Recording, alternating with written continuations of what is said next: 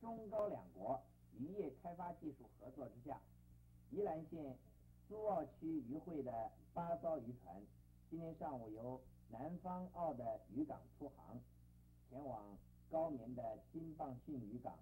参加渔区的捞获大虾鱼作业，将做一年的工作。今天上午各船员都忙着准备的工作，宜兰县长李凤鸣、渔会理事长都在码头去欢送他们，祝他们一帆风顺，满载而归。